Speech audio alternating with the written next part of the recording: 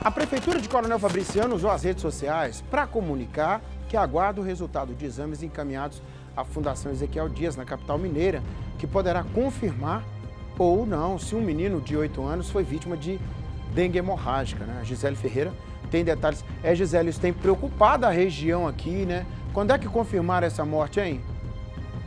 Nico, a morte desta criança foi confirmada ontem pela assessoria de comunicação da Prefeitura de Coronel Fabriciano. Um garoto de 8 anos, porém ainda está em investigação sob suspeita de dengue.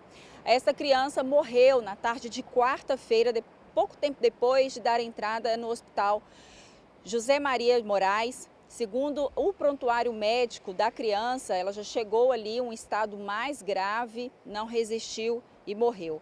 O paciente, de acordo com a nota encaminhada pela prefeitura, era portador de anemia, uma doença grave e que é, acabou então tornando a situação dele ainda é, pior do que já estava, Nico. Mesmo assim, for, foram coletadas amostras sanguíneas que foram encaminhadas para a Fundação Ezequiel Dias, que é o laboratório responsável por fazer as análises, para fazer essa investigação se o menino morreu por dengue ou, alguma outra doença aí, né, alguma outra arbovirose. A gente aguarda então a posição aí, o resultado deste exame.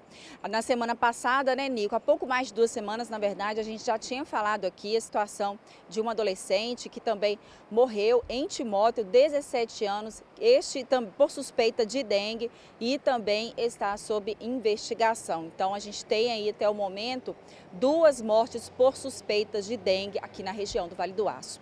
Volto com você, Nico. É, preocupante, né, Gisele? Preocupante demais.